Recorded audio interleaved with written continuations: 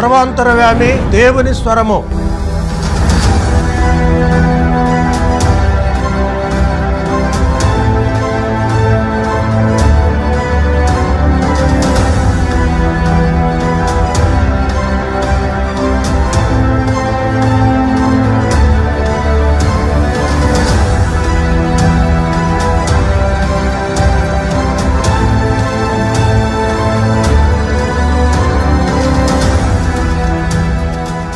ప్రార్థన మహాగణత వహించిన మా యేసు మీ ఘనమైన పరిశుద్ధమైన శ్రేష్టమైన అతి మనోహరమైన నామాన్ని బట్టి మీకే వేలాది వేల వందనాలు స్థుతులు స్తోత్రాలు చెల్లిస్తున్నాం.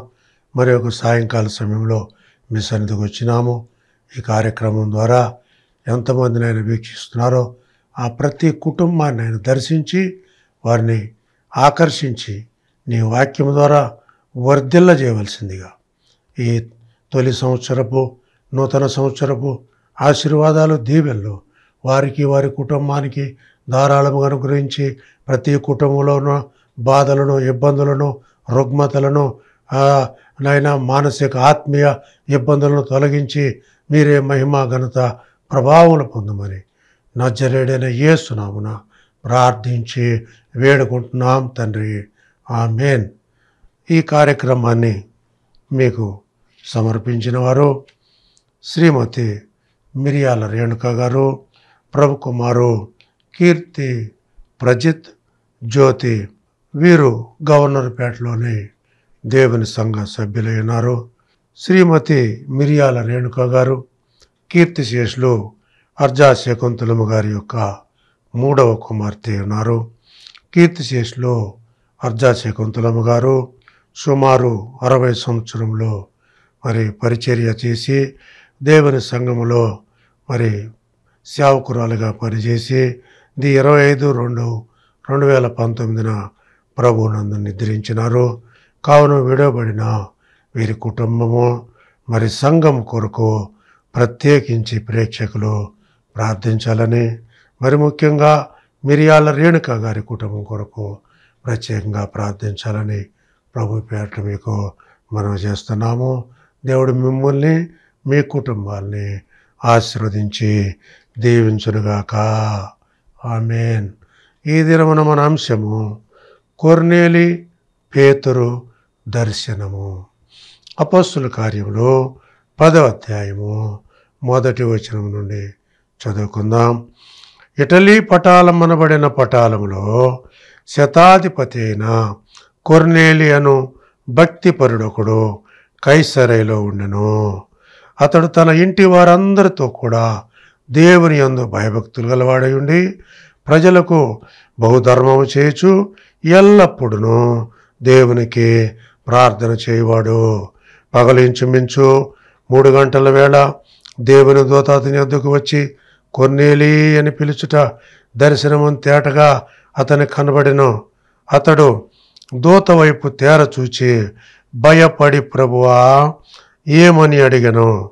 అందుకు దూత నీ ప్రార్థనలను నీ ధర్మ కార్యములను దేవుని సన్నిధికి జ్ఞాపకార్థముగా చేరినవి.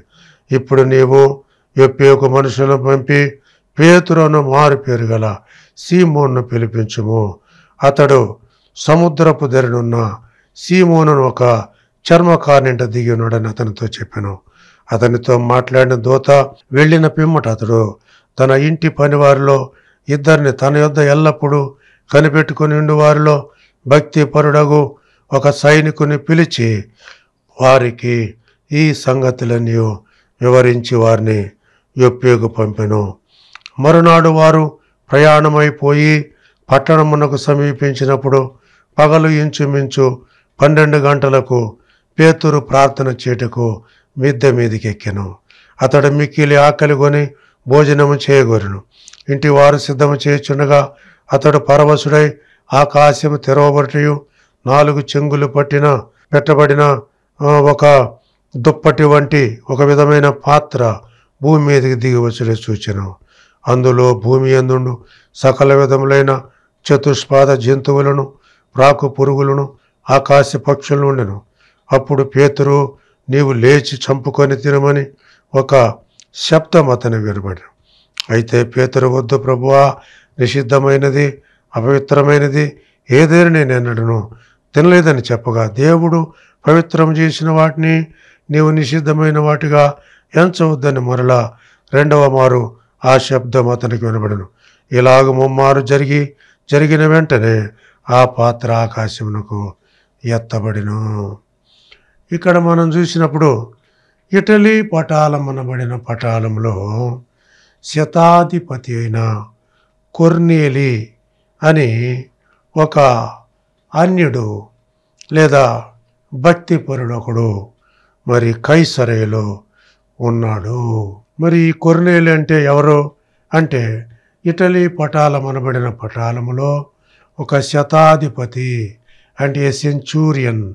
సెంచూరియన్ అంటే నూరుగురు సైనికుల మీద అధికారి అని అర్థము. ఇతడు గొప్ప ఆఫీసర్గా ఉన్నాడు. ఇతడు జైలు ఆఫీసర్గా లేకపోతే బెటాలియన్ మీద ఆఫీసర్గా ఉన్నాడు. అయితే చాలామంది ఆఫీసర్లు మరి ఒక ఉన్నత ఉద్యోగంలో ఉన్నప్పుడు వాళ్ళ అలవాట్లు వేరుగా ఉంటాయి. వాళ్ళ జలసాలు వాళ్ళ విలాసవాలు వేరుగా ఉంటాయి. కానీ కొర్నేలు అందుకు భిన్నంగా ఉన్నాడు. కొర్నేలు భిన్నమైన ప్రవర్తన ఏమిటంటే మొట్టమొదట అతడు తన ఇంటి వారందరితో కూడా దేవుని యందు భయభక్తులు కలిగి ఉన్నాడు. ఎంత గొప్ప ఉన్నతమైన క్వాలిఫికేషన్.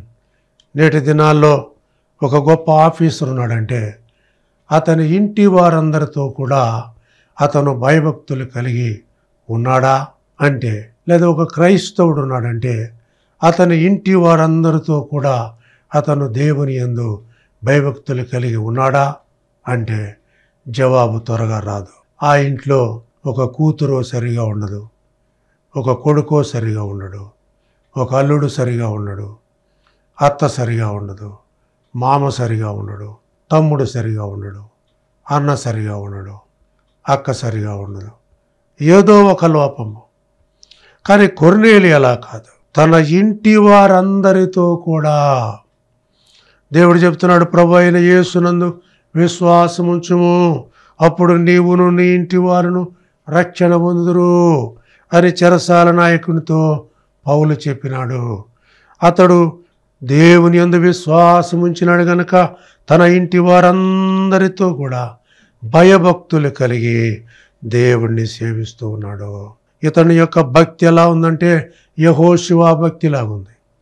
యహోశివ అంటున్నాడు మీరు ఇస్రాయేలీలారా మీరు ఎవరిని సేవించినా యోర్ధాను నదికి అవతల అద్దరినున్న దేవతలను సేవింప కోరుకుందురేమో. మీరు ఎవరిని ఏ దేవతలను కోరుకున్నా నేనును నా ఇంటి వారు మాత్రము యహోవాను సేవించదము. ఇతని భక్తి ఏలియా భక్తిలాగా ఉన్నది. ఏలియా అంటున్నాడు మరి ఎందాక మీరు రెండు తలంపుల మధ్యలో పడి తడబడుతూ ఉంటారు? యహోవా దేవుడైతే యహోవాను వేడుకోండి బయలు దేవుడైతే బయలును వేడుకోండి. ఎంత మీరు రెండు తలంపుల మధ్యలో పడి తడబడుతూ ఉంటారు? ఇరిమి అంటున్నాడు ఈ జనులు రెండు నేరములు చేశారు.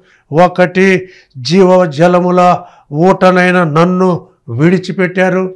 రెండవదిగా తమ కొరకు నీళ్ళు నిలవని బద్దలైపోయిన తొట్లను తమ కొరకు ఏర్పాటు చేసుకున్నారు అంటూ ఉన్నాడు. కాబట్టి వాటి ట్రాజిడీ ఇన్ ద చర్చి. మరి సంఘములో ఎంత విచారకరమైన విషయము. కొర్నేలి జీవితం చూసినప్పుడు ఎంత ఆదర్శప్రాయంగా ఉంది.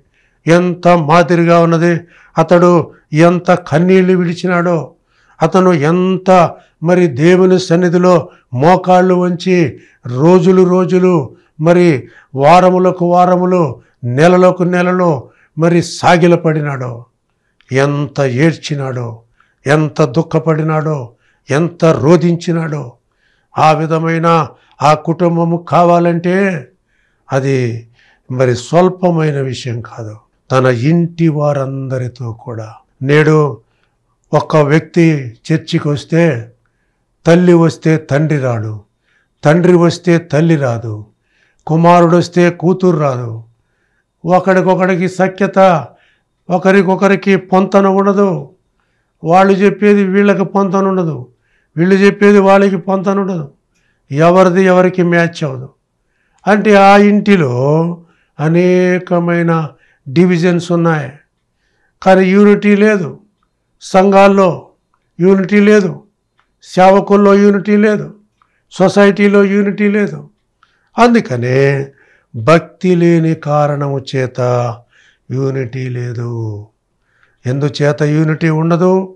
అంటే భక్తి లేని కారణం భయము లేని కారణము ప్రార్థన లేని కారణం ప్రార్థన లేమి. The prayerlessness is the sin అన్నాడు. ప్రార్థనలేమి పాపమునకు కారణము.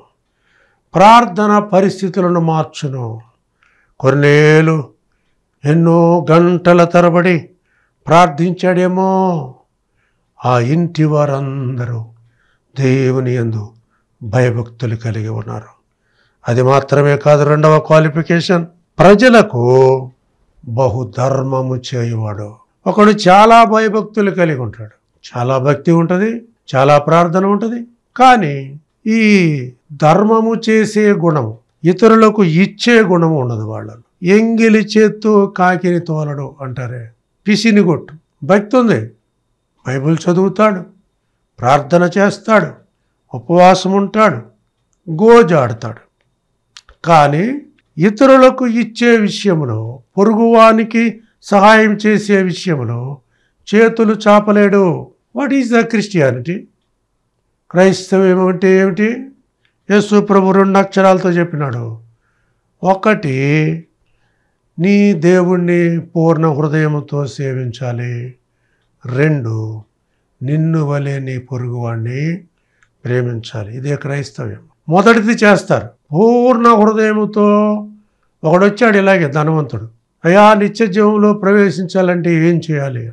చాలా గజగజ వణుకుతున్నాడు. యేసుప్రభు దగ్గర మోకాళ్ళొంచినాడు సాగిలపడినాడు. అప్పుడు ఏసైనాడు నువ్వు ధర్మశాస్త్రము చదువుతున్నావా? బాల్యం నుండే చదువుతున్నానండి. మరి ఏం రాయబడింది?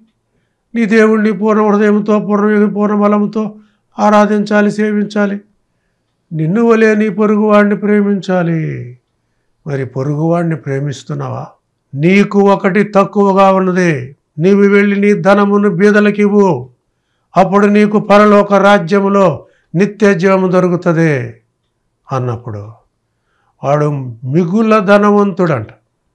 అంటే మిలేనర్ ఆర్ ఏ బిలేనర్ ఆర్ ఏ ట్రిలేనర్ లక్షాధికారి కావచ్చు కోటీశ్వరుడు కావచ్చు కోట్లకు పడిగెలెత్తిన వాడు కావచ్చు.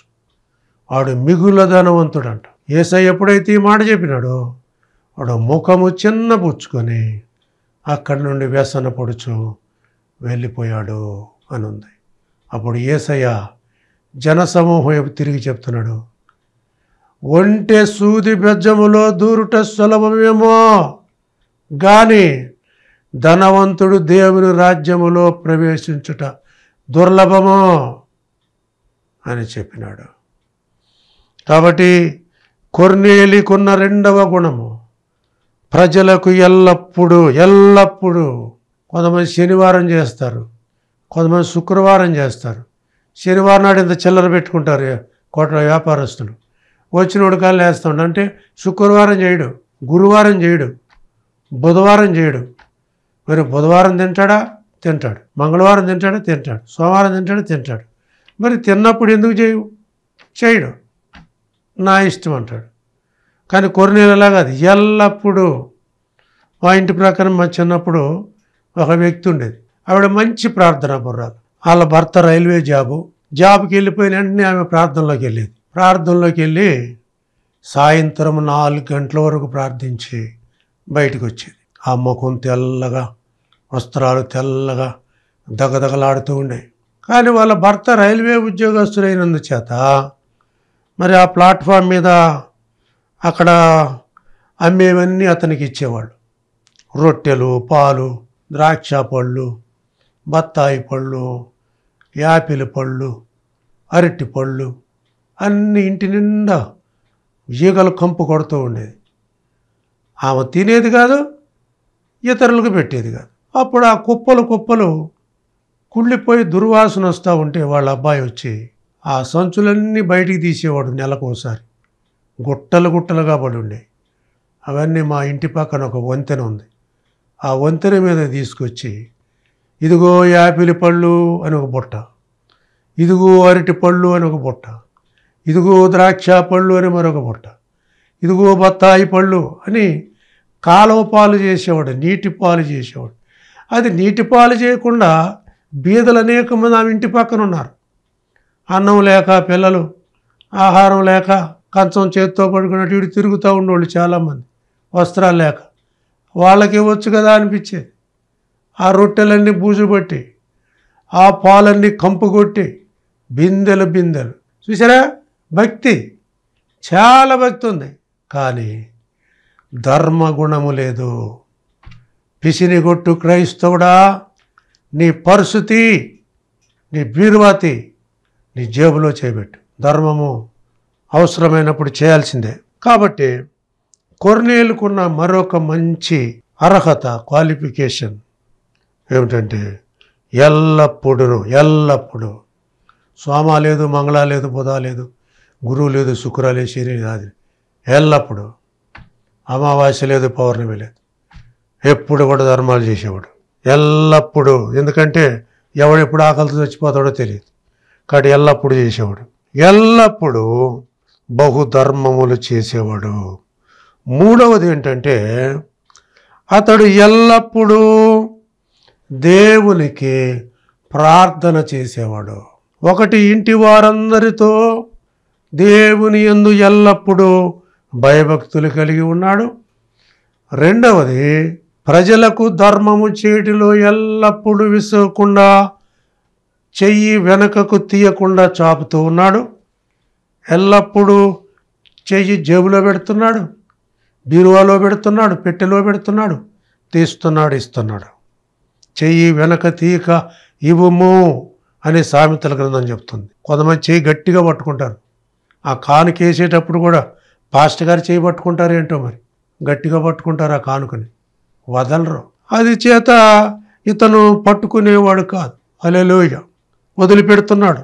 మూడవదిగా ఎల్లప్పుడూ దేవునికి ప్రార్థన చేస్తున్నాడు. ఆల్వేస్ ఈ ప్రే టు గాడ్ ఎల్లప్పుడూ ప్రార్థన చేస్తున్నాడు. మొదటి దశలోనికి పత్రిక ఐదవ అధ్యాయము పదిహేడవ వచనంలో పౌలు ఇదే మాట చెప్తున్నాడు. ఎల్లప్పుడూ సంతోషముగా ఉండండి. ఆల్వేస్ బీ జాయ్ ఎల్లప్పుడూ సంతోషముగా ఉండండి.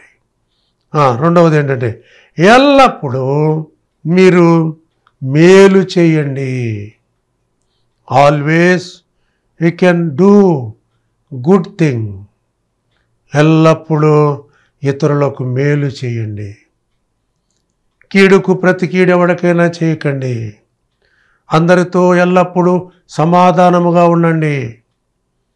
Always you can make a peace with all అందరితో ఎల్లప్పుడూ సమాధానముగా ఉండండి. మూడవది ఎడతెగక ప్రార్థన చేయండి. Pray constantly pray without ceasing pray pray pray ప్రార్థన ప్రార్థన ప్రార్థన. ప్రార్థన అంటే ఏమిటి? దేవుణ్ణి అడుగుట. వాక్యం అంటే ఏమిటి? ప్రార్థన అంటే మనము దేవునితో మాట్లాడుట. వాక్యం అనగా దేవుడు మనతో మాట్లాడుట. ఒక ఆయన నాడు ఒక పక్షికి రెండు రెక్కలు ఎలాగైతే ఉన్నాయో అలాగే విశ్వాసికి ఈ రెండు రెక్కలు అనగా ఈ ప్రార్థన ఉండాలి రెండవది వాక్యం ఉండాలి. రెండు ఉంటేనే అది ఎలాగైతే ఎగరగలదో విశ్వాసి కూడా అలాగే ప్రయాణం చేయగలడు. ఈ రెండు జతగా ఉంటాయి. వాక్యము ప్రార్థన. కొర్రేలు ఇదే చేస్తున్నాడు. ఎల్లప్పుడూ ఎడతెగక దేవునికి ప్రార్థన చేస్తున్నాడు. పేతురుతో యేసుప్రభు అంటున్నాడు ఇదిగో ఈ బండ మీద నా సంగమును కట్టుదును. పాతాళలోక ద్వారములు దారి ఎదుట నిలువ నేరవని నేను నీతో నిశ్చయముగా చెప్పుచున్నాను. The gates of hell shall not prevail against it పాతాళలోక ద్వారములు దారి ఎదుట నిలువలేవు. టిఎల్ ఆస్బోర్న్ అన్నాడు ఒక క్రైస్తవుడు ప్రార్థన చేస్తే పరలోకపు కిటికీలు తెరవబడాలి పాతాళము మూసివేయబడాలి. వాచ్మెన్ నీ అన్నాడు ఒక క్రైస్తవుడు ప్రార్థన చేస్తే ప్రార్థన చేయడానికి అతడు ఉపక్రమించిన మరుక్షణమే సైతాను రాజ్యములో కంపనము మొదలవుతున్నాడు the trembling in the devil's world ప్రార్థన పరిస్థితులను మార్చును. పౌలుశీలలు ప్రార్థించినప్పుడు భూకంపము రాలేదా? వారు ప్రార్థన చేయగా వారు కూడి ఉన్న చోటు కంపించను. అపస్సుల కారం నాలుగో అధ్యాయము ముప్పై ఒకటో వచ్చినము పేతురు చెరసాలలో వేయబడిను సంఘమైతే అత్యాసక్తి కలిగి దేవునికి ప్రార్థించుచుండెను. సంఘము నిద్రపోలేదు సంఘము చలి కప్పుకొని దుప్పటి కప్పుకోలేదు సంఘము ప్రార్థన చేస్తుంది. అప్పుడు దేవుడు ఏం చేశాడు? దూతను పంపించాడు. నాలుగు చతుష్టముల సైనికుల మధ్యలో నిద్రపోతున్న పేతురును వెలుపలికి తీసుకొచ్చాడు. మొదటి కావలి రెండవ కావలి మూడవ కావలిని దాటించి పట్నము వెలుపలికి తీసుకొచ్చి అతన్ని విడిచిపెట్టి వెళ్ళిపోయాడు. అతన్ని ఎప్పుడైతే దేవదూత ముట్టుకున్నాడో సంఖ్యలు వాటంతటవే ఊడి కింద పడ్డాయి అని ఉంది పేతురు అనుకున్నంట ఇది దర్శనమేమో అనుకుంటున్నాడు. ఇంకా పేతురే నమ్మట్లే. మనోడు పాపం కల్లో ఉన్నాడు. ఇది వాస్తవం జరుగుతుంది. అల్లెలుయ్య కాబట్టి ఇక్కడ పేతురు మరి కొర్నేలు యొక్క విశ్వాసం ఏమిటి అంటే అతను ఎల్లప్పుడూ దేవునికి ప్రార్థన చేస్తున్నాడు. అయితే ఒకరోజు ఏం జరిగింది? ప్రార్థన చేస్తుండగా ఒక దర్శనమును అతడు చూచినాడు. ఏమిటి ఆ దర్శనం అంటే దేవదూత ప్రత్యక్షమైంది యోసేపునకు ప్రత్యక్షమైనట్లు ఇతనికి ప్రత్యక్షమైంది. ప్రత్యక్షమై కొర్నేలి ఇలా చెప్తుంది కొర్నేలి నీ ధర్మ కార్యములు నీ ప్రార్థనలు దేవుని సన్నిధికి జ్ఞాపకార్థముగా చేరాయి. ఇది దానియేలు ప్రార్థన వలె కనబడడం లేదు. దానియేలు గ్రంథము తొమ్మిదవ అధ్యాయము. మనం చదివినప్పుడు దానియేలు ఇరవై ఒక్క దినములు ఉపవాసం ఉన్నప్పుడు గాబ్రియేలు దూత అతని దగ్గరకు వచ్చి అన్నాడు దానియేలు నీవు ఈ ఉపవాసము ప్రారంభించిన దినముననే నీ దగ్గరికి నేను పంపబడుటకు ఆజ్ఞ జారీ అయింది. మధ్యలో మరి ఈ బబులోను దేశపు అధిపతి నన్ను అడ్డగించినందున నేను నీ దగ్గరికి రావడము ఆలస్యమైంది. అయితే పైన ఏం తిరుగుతున్నాయి? మరి వాయుమండల సంబంధమైన శక్తులు ఆకాశనాదులు మరి దూతల సమూహం మరి చీకటి శక్తులు పైన సంచరిస్తున్నాయి. కాబట్టి మనము ఏం చేయాలి? సత్యమనే దట్టి కట్టుకోవాలి. సమాధానం అనే సిద్ధ మనసుని జోడు తొడుక్కోవాలి. నీతేనే మైమరువు తొడుక్కోవాలి. రక్షణ అనే శిరస్త్రాణము ధరించాలి. వాక్యమని ఆత్మఖడ్గము ధరించాలి. విశ్వాసమనే డాలు మనము ధరించాలి.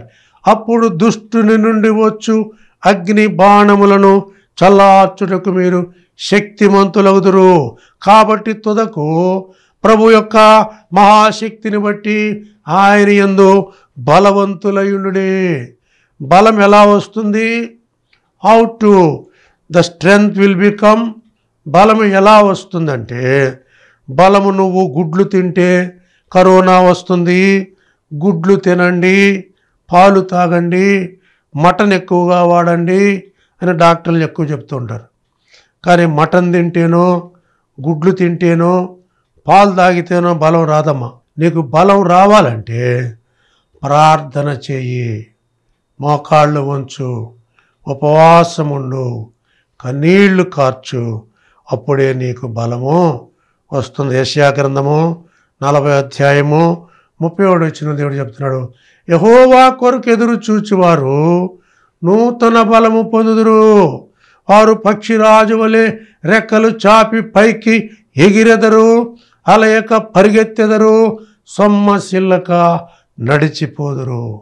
Those are wait for the Lord renew of thy strength. దై will be walk faintless. They shall run into the unsteadily. The eagle shall be flight to the reach the mountains. They shall flee. పక్షిరాజు పర్వతానికి ఎగరడానికి ఎంత range తీసుకుంటుందో అంతటి శక్తిని దేవుడు నీకు ఇస్తాడంట ఎలాగంటే నీవు ప్రార్థన చేయాలి కనిపెట్టాలి. Tarrying wait in the Lord నీవు ఒక కావలి వానివలే నీవు చంటి బిడ్డ దగ్గర తల్లి దగ్గర చంటి బిడ్డ కనిపెట్టినట్లుగా కనిపెట్టాలి. కావలివాడు ఉదయం కొరకు కనిపెట్టుట కంటే ఎక్కువగా నా ప్రాణము దేవుని కొరకు కనిపెడుతుందని దావీదు చెప్తున్నాడు. కాబట్టి కనిపెట్టాలి ప్రార్థించాలి. మరి కొర్రేలు మరి ఇంకా ఏం జరిగింది? అంటే మరి ఇప్పుడు నీవు యొప్పేకు మనుషులను పంపించాలి. అక్కడ చర్మకారుడైన సీమోని ఇంట పేతురనే దైవజనుడు దిగాడు. నీవు అతన్ని పిలిపించుకోవాలి. మరి అతడు నీ ఇంటికి వచ్చినప్పుడు నీవు మరి స్పందించాలి సత్కరించాలి. మరి అతను మరి ఇప్పుడు యొప్పేలో ఉన్నాడు. చర్మకారుడైన సీమోని ఇంట్లో ఉన్నాడు. నువ్వు ఇప్పుడు వెంటనే మనుషులను పంపించని స్వరము అతడు ప్రార్థనలో విన్నాడు. ప్రార్థన. మహాగణత వహించిన మా యేసు మీ ఘనమైన పరిశుద్ధమైన శ్రేష్టమైన అతి మనోహరమైన నామాన్ని బట్టి మీకే వేలాది వేల వందనాలు. స్థుతులు స్తోత్రాలు చెల్లిస్తున్నాం. ఈ యొక్క సాయంకాల సమయంలో నీ వాక్యం మాకు ఇచ్చినందుకే స్తోత్రాలు. కొరనేని ఆయన కుటుంబాన్ని ఎలాగను నువ్వు వర్ధిల్ల చేసినావు అదే రీతిగా ప్రతి కుటుంబంలో భయభక్తులు ప్రార్థనా జీవితము అలాగే ధర్మ కార్యములు చేయుట దానగుణములు మరి ఇతరులకు ఇచ్చే విషయం. అయ్యా అన్ని విషయాల్లో మరి గివింగ్ నేచర్ ప్రతి బిడ్డకు దయచేయమని నచ్చరేడని వేస్తున్నామని అడిగి వేడుకుంటున్నాం తండ్రి. ఆమెన్. తండ్రి ప్రేమ కుమారుని కృప పరిశుద్ధాత్మ నుండి వచ్చే అన్యోన్య సహవాసమైన సన్నిధి భూలోకముందున సకల పరిశుద్ధుల విశ్వాసకును ఆయన సముఖంలో ఉండి ఇంతవరకు ఆయన మాటలు శ్రద్ధగా ఆలకించిన ప్రతి కుటుంబానికి సదాకాలం తోడయుండి నడిపించునుగాక ఆమెన్. యేసు రక్తమే జయం శిలువ రక్తమే జయం అపవాది శక్తులకు సర్వం నాశనం నాశనం. యేసు సంపూర్ణ జయము కలుగునుగాక. ఆమెన్. God bless you. అందరికీ వందనాలు.